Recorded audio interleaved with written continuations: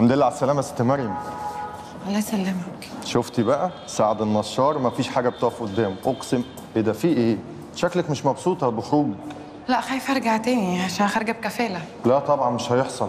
وبعدين مفيش حبس حتى لو القضية شغالة. لو بعد المحاكمة؟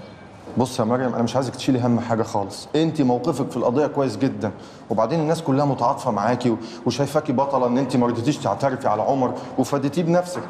وبعدين آه، موضوع جوازكوا ده كمان قلب القصة كده بقصة رومانسية جميلة والناس كلها متأثرة بيها. يا سيدي يا رب يعني القاضي هو كمان يتأثر. طب ما هو اتأثر قبل كده واداكي سنة مع إيقاف التنفيذ. إيه ده؟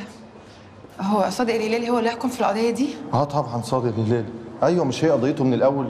إلا بقى لو تنحى لاي سبب من الأسباب.